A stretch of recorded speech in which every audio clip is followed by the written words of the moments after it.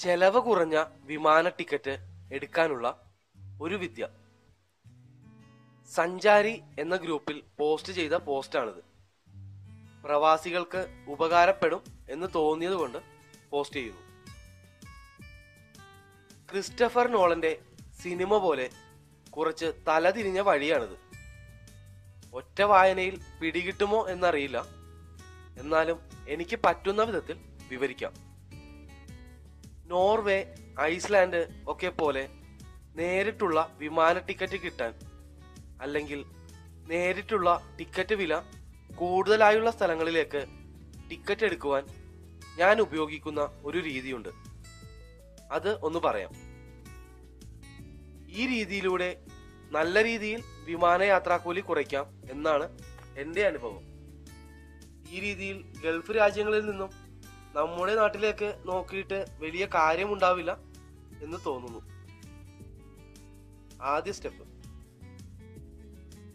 നമ്മൾ flight ticket search ചെയ്യുമ്പോൾ മിക്കപ്പോഴും സ്റ്റാർട്ടിംഗ് സ്ഥലവും പോകേണ്ട സ്ഥലവും ഡേറ്റും വെച്ചായിരിക്കും സെർച്ച് ചെയ്യുക. എന്നിട്ട് ഏറ്റവും കുറഞ്ഞ റേറ്റിലുള്ള ടിക്കറ്റ് നോക്കും. ഉദാഹരണത്തിന് നോർവേ തന്നെ എടുക്കാം. ദുബായിൽ നിന്നും നോർവേ സ്റ്റാവെഞ്ചർ വരെയാണ് എനിക്ക് ടിക്കറ്റ് വേണ്ടത്. പോകുന്ന ഡേറ്റിൽ ആദ്യം ദുബായ് ടു സ്റ്റാവേഞ്ചർ ടിക്കറ്റ് നോക്കിയപ്പോൾ റേറ്റ് എല്ലാം ആയിരത്തഞ്ഞൂറ് രണ്ടായിരത്തിന് മുകളിലാണ്. യാത്രാ സമയം വളരെ കൂടുതലും. ഇങ്ങനെ വരുന്ന സമയത്താണ് നമ്മൾ റിവേഴ്സ് ബുക്കിംഗ് എന്ന ടെക്നിക് ഉപയോഗിക്കേണ്ടത്. അതായത് ആദ്യം ഞാൻ സ്റ്റാവേഞ്ചറിൽ നിന്നും ഏറ്റവും കുറഞ്ഞ ചിലവിൽ ഏത് സ്ഥലത്തേക്കാണ് ഫ്ലൈറ്റ് ഉള്ളത് എന്ന് നോക്കുന്നു. സ്കൈ കാനറിൽ ഫ്രം എന്നിടത്ത് സ്റ്റാവെഞ്ചറും ടു എന്നിടത്ത് എവരിവെയർ എന്നും ഡേറ്റിന്റെ അവിടെ ഓൾ മന്ത് എന്നും കൊടുത്ത് സെർച്ച് ചെയ്യും. ഇങ്ങനെ സെർച്ച് ചെയ്യുമ്പോൾ ആ സ്ഥലത്ത് നിന്നും ഏറ്റവും കുറഞ്ഞ ചെലവിൽ പോകാൻ പറ്റിയ രാജ്യമോ എയർപോർട്ടോ നമുക്ക് പിടികിട്ടും. ആ ലിസ്റ്റ് ഒരു സ്ക്രീൻഷോട്ട് എടുത്ത് വെക്കുക. സെക്കൻഡ് സ്റ്റെപ്പ് നമ്മുടെ സ്ഥലത്ത് നിന്നും ഏറ്റവും ചെലവ് കുറഞ്ഞ് സഞ്ചരിക്കാൻ പറ്റിയ രാജ്യങ്ങളെയും എയർപോർട്ടുകളെയും കണ്ടുപിടിക്കൽ അതിനായി ഞാൻ സ്കൈ സ്കാനറിൽ ഫ്രം എന്നിടത്ത് ദുബായ് എന്നും ടു എന്നിടത്ത് എവരിവെയർ എന്നും ഡേറ്റിന്റെ അവിടെ ഹോൾ മന്ത് എന്നും കൊടുത്ത് സെർച്ച് ചെയ്യും. അപ്പോൾ ദുബായിൽ നിന്നും കുറഞ്ഞ ചെലവിൽ പോകാൻ പറ്റുന്ന രാജ്യത്തിന്റെയും എയർപോർട്ടിന്റെയും ഒരു ലിസ്റ്റ് കിട്ടും. അതും സ്ക്രീൻഷോട്ട് എടുത്ത് വയ്ക്കുക മൂന്നാമത്തെ സ്റ്റെപ്പ്. ഈ രണ്ട് സെർച്ചിൽ നിന്നും കിട്ടിയ ലിസ്റ്റിലും പൊതുവായി വന്നിട്ടുള്ള രാജ്യമോ എയർപോർട്ടോ ഉണ്ടോ എന്ന് നോക്കുക. എങ്കിൽ ഉറപ്പിച്ചോളൂ. ആ രാജ്യം വഴി അല്ലെങ്കിൽ ആ എയർപോർട്ട് വഴിയായിരിക്കും നിങ്ങൾക്ക് ഏറ്റവും ചെലവ് കുറഞ്ഞ ടിക്കറ്റിൽ യാത്ര ചെയ്യാൻ പറ്റുക. ഉദാഹരണത്തിന് ഞാൻ ആദ്യം സ്റ്റാവഞ്ചറിൽ നിന്നും ചെലവ് കുറഞ്ഞ സ്ഥലം നോക്കിയപ്പോൾ അതിൽ മൂന്നാമതായി പോളണ്ടിലെ കാറ്റോവൈസ് എന്ന എയർപോർട്ട് ഉണ്ടായിരുന്നു. അത് കഴിഞ്ഞ് ദുബായിൽ നിന്നും ചെലവ് കുറഞ്ഞ സ്ഥലം നോക്കിയപ്പോൾ അതിലും കാറ്റോവൈസ് എയർപോർട്ട് ഉണ്ടായിരുന്നു. ദുബായിൽ നിന്നും കാറ്റോവൈസ് വരെ നാനൂറ്റമ്പത് എ ഡി അവിടുന്ന് നോർവേയിലെ സ്റ്റാവെഞ്ചർ വരെ ഇരുന്നൂറ്റമ്പത് എ ഡി അങ്ങനെ ആകെ എഴുന്നൂറ് എ ഡി അതായത് നോർമൽ സെർച്ച് ചെയ്ത് കിട്ടുന്നതിന്റെ പകുതിയിൽ കുറവ് മാത്രം. എങ്ങനെയുണ്ട്? ലാഭമാണോ? പിന്നെ ഒരു കാര്യം പറയാം.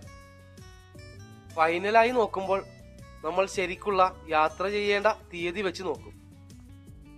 അപ്പോൾ ചിലപ്പോൾ ഈ വിലയിൽ നിന്നും വ്യത്യാസം വരാൻ സാധ്യതയുണ്ട്. കൃത്യം ഒരു ദിവസത്തെ റേറ്റ് നോക്കാതെ പോകാൻ പ്ലാൻ ചെയ്യുന്ന ആഴ്ചയിലെ എല്ലാ ദിവസത്തെയും റേറ്റ് നോക്കി താരതമ്യം ചെയ്യുന്നതും നല്ലതാണ്. എന്നാലും വലിയ വ്യത്യാസം വരില്ല എന്നത് ഉറപ്പാണ്. അപ്പോഴും സാധാരണ നോക്കുന്ന ടിക്കറ്റിനേക്കാളും ഇതിന് വില കുറവായിരിക്കും. ഇങ്ങനെ എടുക്കുന്ന ടിക്കറ്റ് കൊണ്ട് ഉണ്ടാവുന്ന ബുദ്ധിമുട്ടുകൾ. കുറച്ച് ബുദ്ധിമുട്ടിയാലും നല്ല ഒരു തുക ലാഭിക്കാം. അതുകൊണ്ട് ഇതൊന്നും എനിക്കൊരു ബുദ്ധിമുട്ടായി തോന്നിയിട്ടില്ല. ഇങ്ങനെ ടിക്കറ്റ് തപ്പൽ വളരെയേറെ ക്ഷമയും സമയവും വേണ്ട കാര്യമാണ്. അതിന് തയ്യാറല്ലാത്തവർ പിന്നെ ഇതിൽ വലിയ ലാഭം കണ്ടെത്തില്ല. ഇങ്ങനെ ടിക്കറ്റ് എടുക്കുമ്പോൾ ആദ്യത്തെ ഫ്ലൈറ്റും രണ്ടാമത്തെ ഫ്ലൈറ്റും തമ്മിൽ ചിലപ്പോൾ സമയത്തിൽ വളരെയധികം വ്യത്യാസമുണ്ടാവും. അപ്പോൾ അത്രയും സമയം നമ്മൾ വെയിറ്റ് ചെയ്യേണ്ടി വരും. പക്ഷേ ഞാൻ ഈ അവസരത്തിൽ ഇങ്ങനെയാണ് ചെയ്യാറുള്ളത്.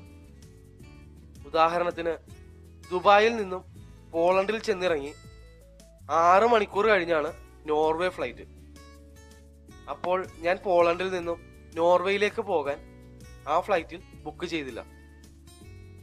പകരം ഒരു മൂന്ന് മണിക്കൂറും കൂടെ താമസിച്ചുകൊണ്ടുള്ള അടുത്ത ഫ്ലൈറ്റിൽ ബുക്ക് ചെയ്തു. അപ്പോൾ ഈ രണ്ട് ഫ്ലൈറ്റിന്റെയും ഇടയ്ക്ക് എനിക്ക് പോളണ്ടിൽ ഒമ്പത് മണിക്കൂർ സമയം കിട്ടി.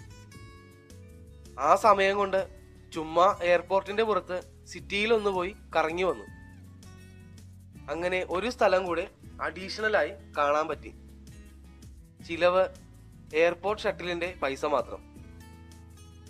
ഒട്ടുമിക്ക രാജ്യങ്ങളിലും ട്രാൻസിസ്റ്റായി മാത്രമാണ് എത്തുന്നതെങ്കിൽ അതായത് ഇരുപത്തിനാലോ നാൽപ്പത്തെട്ട് മണിക്കൂറിനുള്ളിൽ അടുത്ത സ്ഥലത്തേക്കുള്ള ഫ്ലൈറ്റ് ടിക്കറ്റ് ഉണ്ടെങ്കിൽ ഒന്നുകിൽ ഫ്രീ ആയോ അല്ലെങ്കിൽ ട്രാൻസിസ്റ്റ് വിസ ഉപയോഗിച്ചോ പുറത്ത് കടക്കാം. ചെറിയ രീതിയിൽ കറക്കവും നടത്താം. കയ്യിൽ കൂടുതൽ ബാഗുകൾ ഉണ്ടെങ്കിൽ ഇങ്ങനത്തെ യാത്ര ബുദ്ധിമുട്ടാകും. കാരണം ആ ബാഗേജ് എടുക്കുവാനുള്ള സമയം തിരിച്ച് വീണ്ടും വരി നിന്ന് ബാഗ് ഡ്രോപ്പ് ചെയ്യുന്ന മെനക്കേട് എല്ലാം ഉണ്ട് അതുകൊണ്ട് ഈ ഓപ്ഷൻ അത്ര നല്ലതല്ല.